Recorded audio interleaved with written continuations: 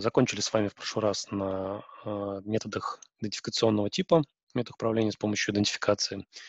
Рассмотрели э, один пример и также посмотрели на лабораторную работу, связанную с этим методом.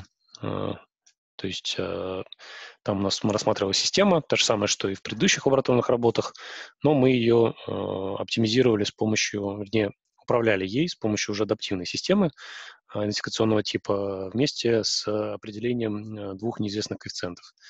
Значит, а, к сожалению, там на второй половине у нас записи не было, вот, но вкратце там э, суть сводилась к тому, что мы э, пошевелили разные, компони... разные элементы системы и увидели, что есть достаточно серьезное влияние нелинейных компонентов, то есть, грубо говоря, там небольшие отличия в оцениваемых параметрах приводили к достаточно серьезным, серьезным статическим ошибкам в системе. Вот. И в частности, вот, э, касающиеся нашего упрощения, то есть мы там э, вводили упрощение во время синтеза э, аналитического закона, когда убирали тангенс гиперболический, заменяли его линейной функцией. Мы в прошлый раз посмотрели, что вот такая замена в случае системы идентификационного типа, она приводит к появлению статической ошибки. То есть в отличие от того, что мы на позапрошлой лекции рассматривали, то есть систему с интегральной адаптацией, где мы добавляли просто интегральную компоненту, а, и она в целом подтягивала систему к, нужной, к нужному значению целевому, пусть некоторым колебательным процессом, вот, то в системах идентификационного типа вот э, такие уже отличия в модели, то есть э, та модель, которую мы заложили, она изначально уже, в ней присутствовали некоторые степень неопределенности, вот, и мы за счет этой неопределенности э, внесли дополнительную помеху в нашу систему. И мы, полагаясь на то, что мы все в системе знаем, а то, то что не знаем, мы идентифицируем, э, получали некоторый закон управления, который приводил вот к появлению статической ошибки. Вот, то есть э, основной вывод из этой лабораторной работы, который должен сделать, состоит в том, что если вы основываетесь уже на идентификационном подходе, к построению системы управления, вот, ваша модель должна быть максимально близка к реальному поведению объекта. То есть э, каким-то образом вам э, придется учитывать, в том числе и вот этот тангенс гиперболический. Вот, поэтому а, есть, э, да, целое направление, например, то есть можно, а, имея некоторую модель, строить дополнительные подсистемы оптимизации. То есть, ну, в этом случае вы придете уже, скорее всего, к так называемому адаптивному модулу Predictive Control, то есть у вас будет а, строится модель а, во времени, да, то есть у вас будет некоторая модель общего вида с неизвестными параметрами, значит, вы будете по историческим данным производить оценку этих параметров, ну, к примеру, вот так, как мы это делали а, на прошлом занятии в нашей лабораторной работе. Вот, а дальше вы будете использовать методы оптимизации для того, чтобы на этой модели подобрать управляющее воздействие. Вот, наверное, это вот такой самый сейчас популярный подход к построению адаптивных систем. Вот, но, э, тем не менее, э, сегодня мы рассмотрим еще два других подхода.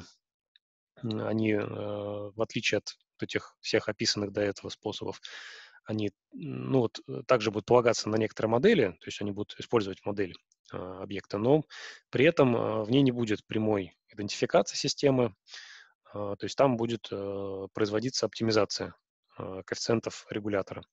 Вот. Э, и название, соответственно, уже не идентификационная система адаптивного управления, а системы прямого адаптивного управления. Значит, э, мы сегодня, скорее всего, их э, кратко рассмотрим. Значит, посмотрим еще одну лабораторную работу. Вот. И в целом у вас будет полный комплект уже информации для того, чтобы сделать полностью курсовой проект.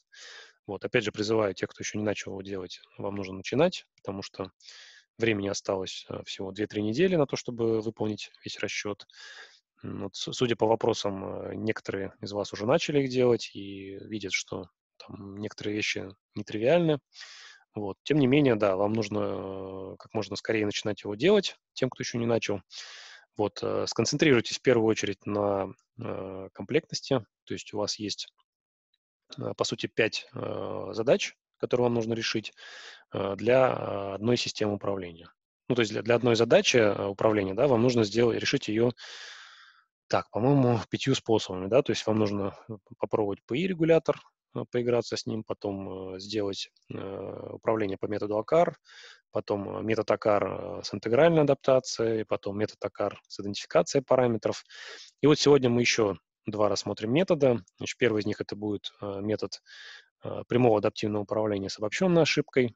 Вот. И второй метод – это будет метод скоростного градиента. Тоже система прямого адаптивного управления, но с алгоритмом скоростного градиента. Вот. В целом у вас вот будет в курсовом проекте пять таких задач. Вот. И вам в первую очередь нужно сосредоточиться на выполнении всех пяти.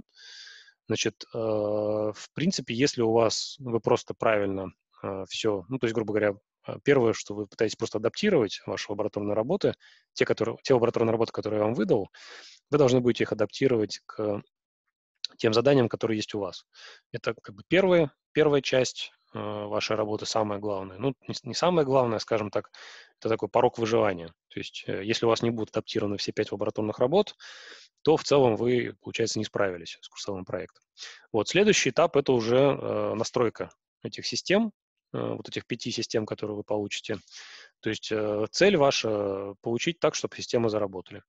Вот. Ну или показать, что настроить э, их не получается. Ну, то есть, ну, теоретически такое возможно, надо будет, конечно, каждый раз изучать, но это будет неплохая тема для разговора на защите.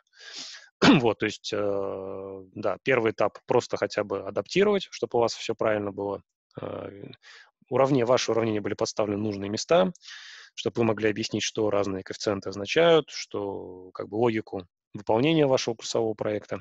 Вот. А следующее мы уже будем говорить о том, вот как вы пытались настраивать эту систему, то есть э, как вы производили отладку, какие у вас, э, как у вас понимание, почему она у вас может не работать, вот, э, понимаете ли вы, какие, за какие ниточки нужно шевелить, чтобы э, лучше понимать, как ваша система устроена.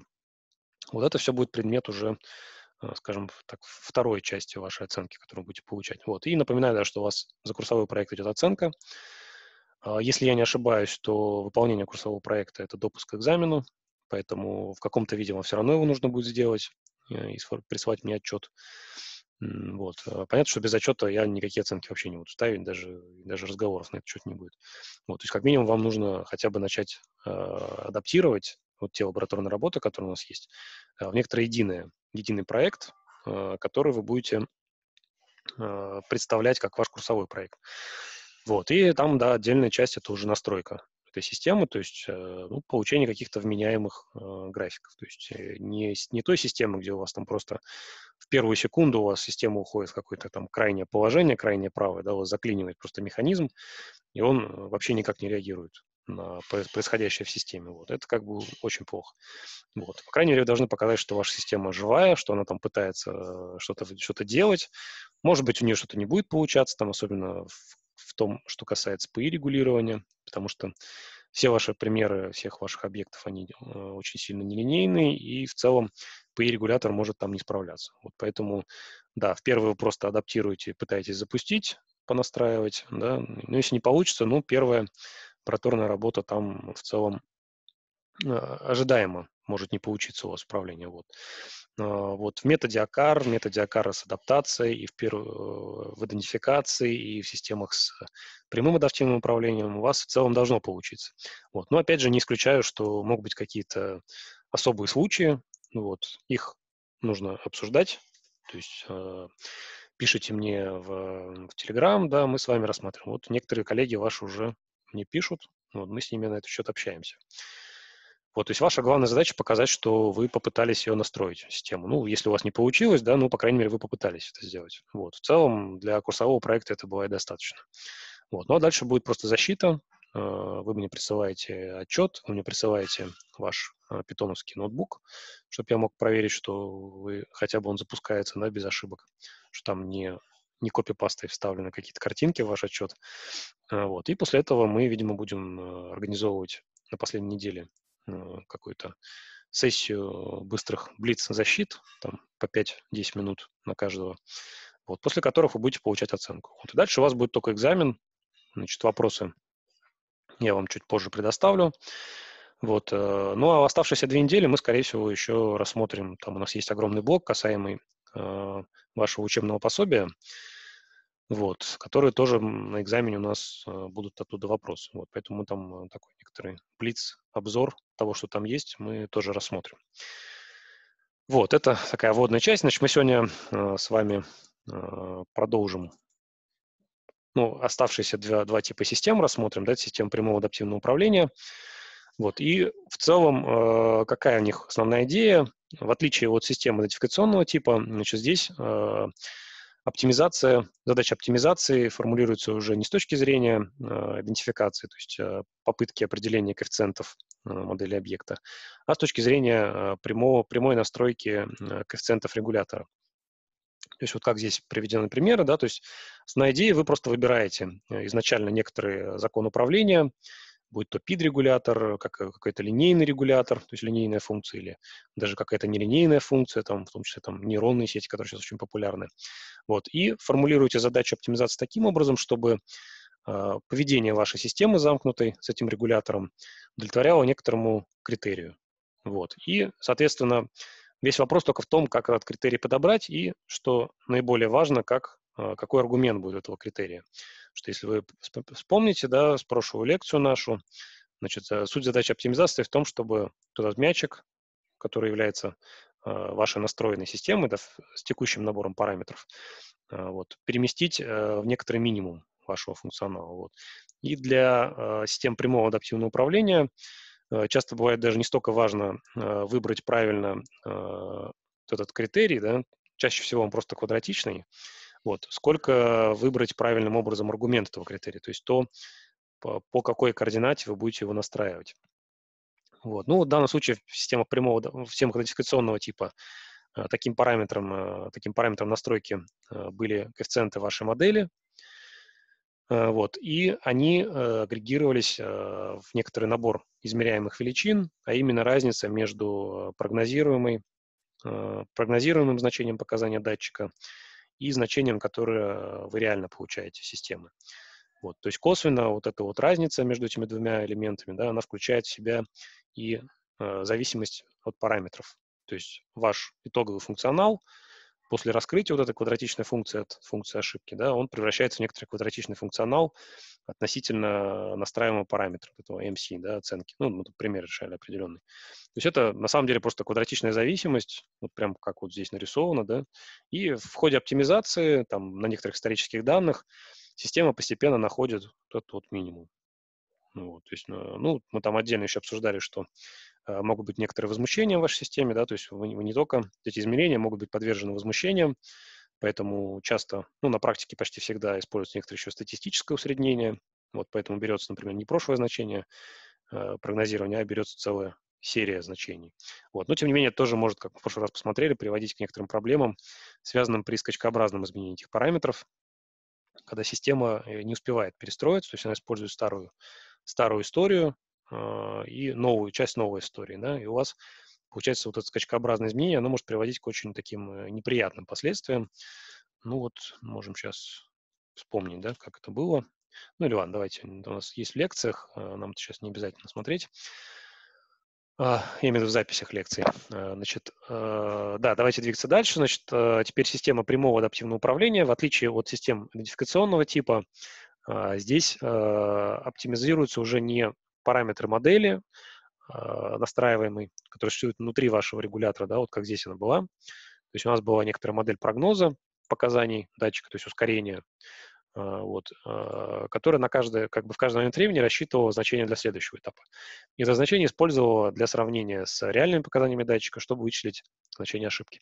Соответственно, на основе нее строился просто алгоритм такого итеративного оценивания, который постепенно с течением времени сходился к э, реальному значению э, параметра. То есть, по сути, в реальном времени э, оценивалась масса груза, которую мы не знаем. Такой своего рода софт-сенсор, который по косвенным измерениям ускорения пытается оценить, какая же реальная масса у вас на, на грузе, ну, как бы на, на кране на этом подвешена. Вот это такая достаточно популярная технология построения софт-сенсоров. А, вот она достаточно находит сейчас некоторые применения. Вот, и, соответственно, мы ее используем для того, чтобы потом этот параметр использовать э, в аналитическом законе, а, вот здесь, да, для того, чтобы посчитать уже некоторый закон адаптивного управления.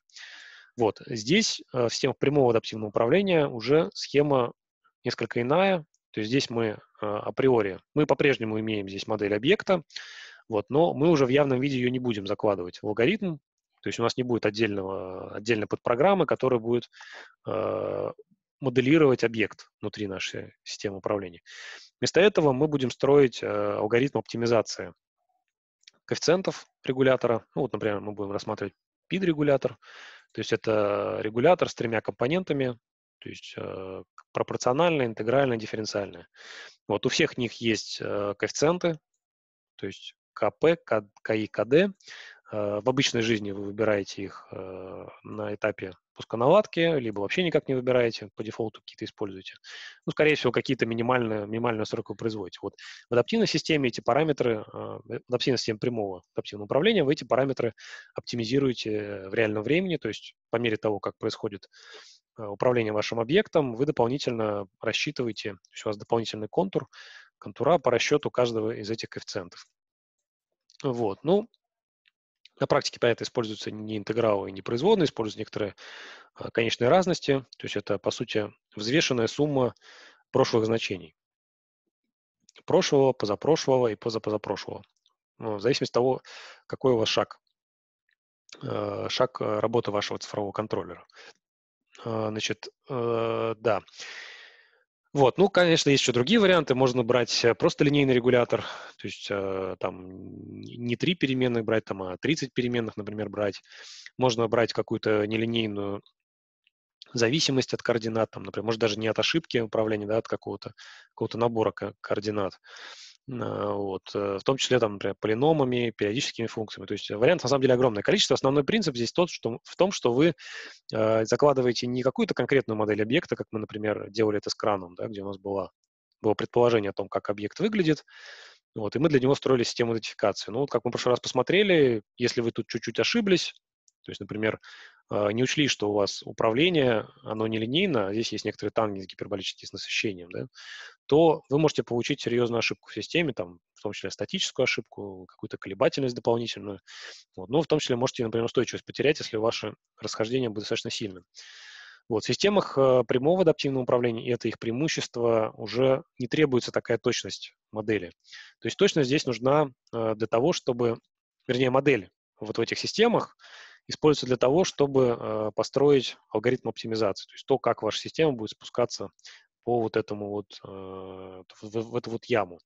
Вот. Э, значит, точность модели будет влиять уже не на то, в какую цель выходит ваша система, да, а на то, например, как быстро вы будете спускаться сюда. То есть приходить к некоторому оптимальному состоянию вашей системы. Вот. То есть, грубо говоря, здесь уже не так явно будет заметно падение показателей качества системы, по сравнению с системой идентификационного типа. То есть в системах идентификационного типа вы должны очень точно модель сформулировать, чтобы получить приемлемый результат. Вот. Ну, если мы не говорим, конечно, о применении каких-то еще интегральных компонент, то есть э, тут, скорее всего, придется еще э, прикручивать вот те интегральные компоненты, которые мы рассматривали в предыдущем, в позапрошлой операторной работе, то есть метатокар с интегральными компонентами. Вот. То есть это будет такой гибрид, Э, достаточно сложной системы. Да? То здесь, например, всего этого уже не нужно. Здесь э, достаточно вот построить алгоритм оптимизации. Э, есть определенные требования, которым должен удовлетворять вот эта вот модель. То есть можно даже примерно прикинуть, насколько ваша модель подходящая для того, чтобы использовать ее в системе управления. Вот, то есть в ней, к ней на самом деле определяются меньше требований. Вот. Но почему-то вот на практике такие системы пока не получили широкого распространения. То есть вы очень часто сможете увидеть вот такие примеры систем да, с, с идентификацией. Причем сейчас уже э, речь идет не о моделях э, вот таких вот аналитических, да, а идет уже модель о цифровых двойниках, то есть когда у вас вместо вот этой вот, вот, этой вот э, модели используется некоторый цифровой двойник. Вот, и здесь часто бывает уже, э, да, тут аналитически уже не получить решение закона управления, да, но можно построить, например, дополнительную систему э, оптимизации э, управления, то есть опять-таки выбирается ну, чаще всего это просто некоторая последовательность управляющих воздействий, да, каждый момент времени, как в Model Predictive Control. Вот, но он строится на базе вот этой вот модели какого-то цифрового двойника, параметры которого определяются по историческим данным.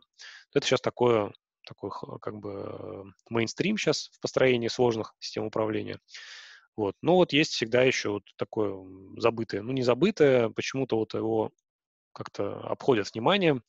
Вот, хотя оно более простое в исполнении, если оно более простое, то оно становится более надежным. Здесь, конечно, есть э, свои тонкости, мы о них еще поговорим. Вот, и, возможно, в лабораторной работе вы на это обратите внимание. Вот, но они, в принципе, свойственны не только этим системам. Э, это, опять-таки, э, особенности, связанные с ограничениями в каналах управления, со скоростью работы исполнительных механизмов. То есть вот тот алгоритм оптимизации, который вы строите, он должен быть, должен соответствовать тем физическим возможностям а, ваших исполнительных механизмов, которые у вас есть. Иначе у вас будут происходить разные неприятные эффекты, такие, например, как залипание. То есть система будет выдавать управляющее воздействие, а, ваша, ваш исполнительный механизм будет уходить в зону насыщения, система будет еще больше давить, а, что еще больше будет уходить в зону насыщения. Вот, и в итоге у вас система как бы начинает подвисать. Вот, это вот такой негативный эффект, который свойственен системам прямого адаптивного управления. Может быть, поэтому как раз и э, не получили такого распространения эти системы, а может быть просто потому, что они а, чуть более, чуть менее интуитивно понятные, чем системы идентификационного типа. Вот. Но если двигаться дальше, да, то есть а, в чем ну, как бы два основных подхода, которые мы будем рассматривать, это метод обобщенной ошибки и метод скоростного градиента. Значит, такие тоже два основных принципа. Первый состоит в том, что вы формируете некоторый динамический фильтр э, на входе вашего регулятора, и с помощью этого фильтра вы пытаетесь извлечь информацию из э, сигнала э, о том, как, ну, как бы, что из себя представляет объект управления. Но не с точки зрения э, задачи идентификации, да, где вы пытались какие-то параметры найти, массу, например, определить, а с точки зрения достижения э, некоторой задачи. То есть у вас есть ошибка, и вам нужно понять, как система себя ведет э, при решении задачи э, движения к этой ошибке. То есть, э, грубо говоря, э, грубо говоря, у вас там прямая зависимость между подаваемым воздействием и направлением движения или обратная зависимость. Или эта зависимость меняется во времени. Вот, то есть вот этот метод обобщенной ошибки, он как раз направлен на то, чтобы определить, ну, как бы вы задаете некоторый фильтр, с помощью которого вы извлекаете необходимую информацию для оптимизации. Вот. А дальше вы решаете обычную задачу оптимизации, то есть поиск минимума некоторого функционала. Значит, второй метод, этот метод скоростного градиента, его идея схожа с тем, который был в первом методе, да, то есть э, определение, ну, тоже, тоже некоторая фильтрация временной. Но здесь уже идея такая больше э, не столько связана с фильтрацией сигнала, сколько связана с некоторой идеей, да, оптимизации. То есть э, суть оптимизации состоит в том, чтобы на каждом шаге приближаться к некоторому минимуму. Вот, если у вас есть некоторый функционал, и вы итеративно его оптимизируете, вы можете отслеживать э, разницу между градиентом в этой точке, ой, между функ, значением функционала в этой точке и значением функционала в этом точке. И анализируя разницу между ними, вы можете понять, в каком направлении вам двигаться. То есть в правильном направлении вы двигаетесь или нет. Если вы двигаетесь в правильном направлении, то у вас функционал будет уменьшаться по времени. Вот. И это основная идея метода скоростного градиента, именно поэтому он так называется. То есть э, он переформулируется немножко другим образом.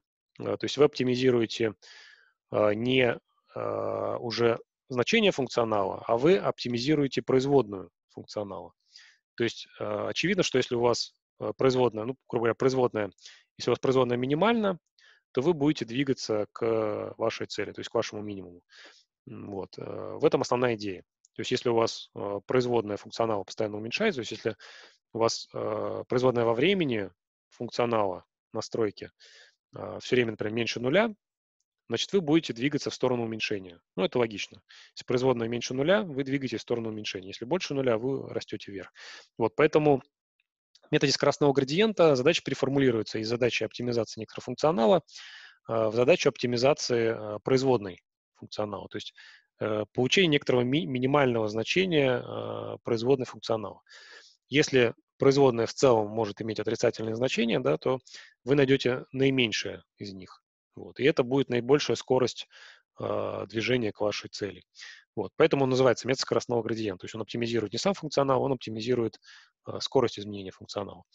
Вот. У него тоже есть э, свои особенности. В частности, он очень сильно чувствителен к возмущающим воздействием, то есть когда вы отказываете, оказываетесь вот здесь, то есть у вас изменения получаются, вы находитесь здесь, очень маленькие, да, и производные у вас, они, ну, не производные, в смысле, а шум начинает вас просто из этой точки выбивать. То есть у вас он вносит дополнительное возмущение в производную вашего функционала, ну, потому что вы туда-сюда прыгаете, да, и в целом, если у вас шум не является идеальным, то есть он не, не, не распределен равномерно, да, имеет какое-то смещение, то вы можете на самом деле куда-то там, э, придя цели, да, вы можете потихонечку начать там куда-то двигаться в другую сторону. То есть, э, грубо говоря, задача в принципе не будет решаема. Это вот основной недостаток э, метода гранитного спуска, чувствительность к возмущающим воздействиям.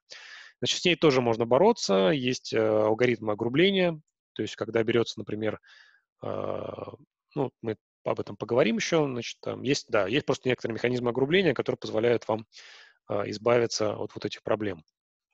Значит, ну, давайте теперь детальнее про, значит, про метод, э, первый метод, да, метод обобщенной ошибки адаптации. Значит, э, да, как я уже сказал, это просто э, в систему оптимизации добавляется э, блок вычисления обобщенной ошибки, то есть исходная ошибка управления, ну, например, разница между желаемым э, состоянием системы и тем, что у вас в реальности есть, да, она пропускается через некоторый э, вычислительный блок, который представляет из себя динамический фильтр. По сути, это в дискретном случае это сумма э, исторических, ну, как бы взвешенная сумма исторических значений ошибки. Вот, то есть такая некоторая свертка. Э, по сути, да, динамический фильтр, вот, который позволяет вам на выходе получить э, некоторый э, сигнал, который может быть использован как аргумент э, вашего вашего алгоритма оптимизации. Значит, на чем он основывается в первую очередь? Да, ну вот простая идея, опять же, на примере рассмотрим нашего крана. Мы не знаем массу, вот, но мы предполагаем, что э, за счет выбора некоторого обобщенного регулятора, PID-регулятора, имеющего три неизвестных коэффициента, мы можем построить э, правильным образом, подобрав эти коэффициенты, мы можем этим объектом управлять. Вот. Но заранее мы не можем этого сделать, потому что мы не знаем массу.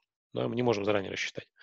А, вот. Поэтому мы строим алгоритм э, текущей оптимизации, э, который будет э, вычислять эти коэффициенты в реальном времени. Значит, ну что здесь? Как вот, например, мы строим этот фильтр, мы берем просто эталонную модель. Здесь вот как раз состоит магия некоторая в, этой, вот в этом фильтре, да, как выбирать этот фильтр.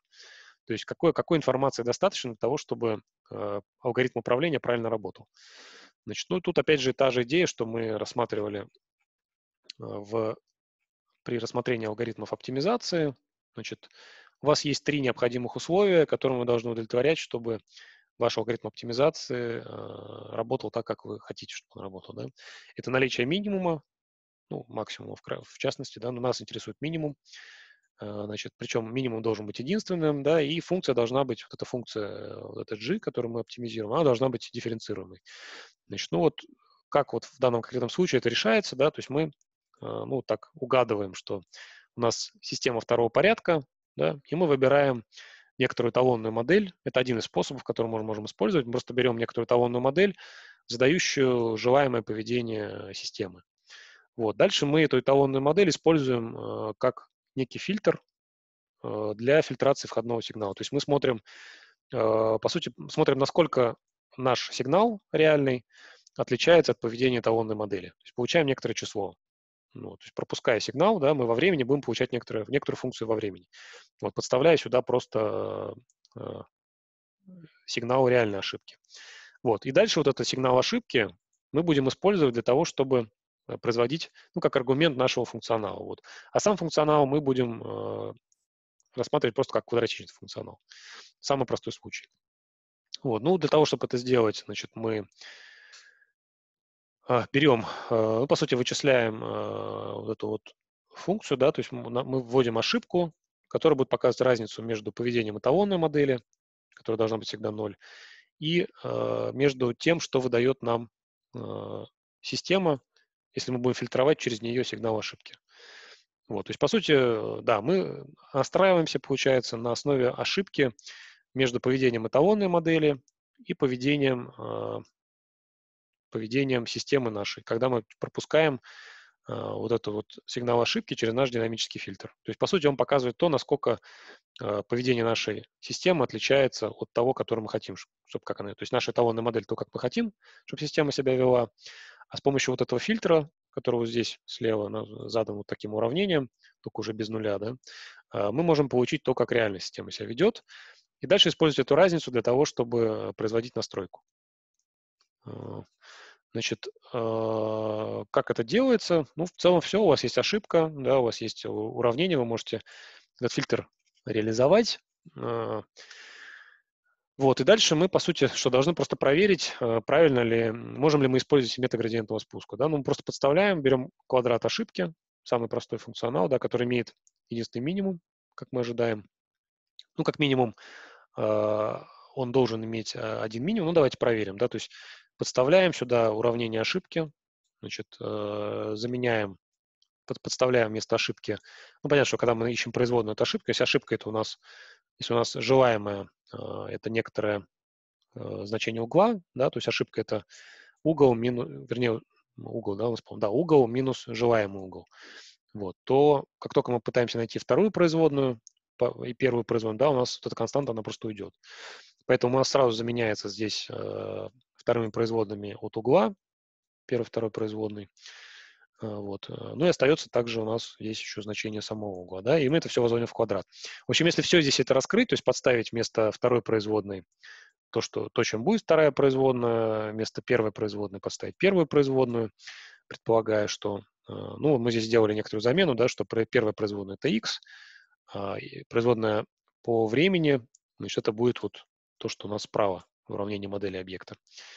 Вот она у здесь сформулирована, да.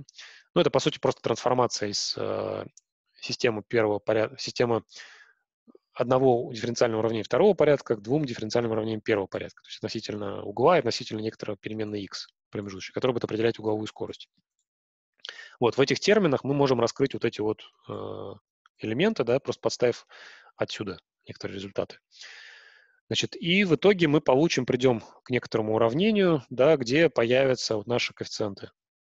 КП, КД и третий это, где у нас К, К, К интеграл, да, интегральная компонента. Вот, то есть, ну, вкратце, вкратце, если там еще возвести все это в квадрат, мы получим вот такой набор уравнений. То есть можно легко показать, что это будет квадратичное уравнение относительно каждого коэффициента. Вот. И эти коэффициенты, соответственно, мы сможем легко использовать для настройки, то есть, по сути, для построения уже метода градиентного спуска. То есть, во-первых, мы показываем, что это, эта функция квадратична относительно настраиваемых параметров. То есть это мы отдельно настраиваем пропорциональный коэффициент, он квадратичен относительно пропорционального, пропорционального коэффициента. То же самое для дифференциального, то же самое для интегрального. Вот. Значит, если это квадратичная функция, значит, у нее будет э, единственный минимум.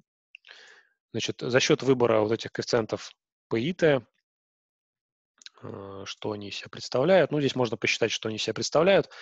А, они будут включать в себя, в частности, значение вот этих коэффициентов. То есть мы можем выбирать либо минимум, либо максимум. Вот. А, и, соответственно, третье, что нам нужно, она дифференцирована. Ну, очи- очевидно, что это функция дифференцирована. То есть здесь нет никаких разрывов, а, с этим проблем никаких нет. Вот, то есть вот этот, вот этот, э, вот этот функционал, да, там квадрат от ошибки, сформированной на основе эталонной модели движения объекта, он э, позволяет нам э, сформулировать задачу оптимизации. Вот, в этом основная идея. Ну, давайте, да, сейчас чуть-чуть прервемся, нас сейчас выбросит. Значит, перезайдем и 5 минут перерыв сделаем, после этого продолжим с нашими алгоритмами.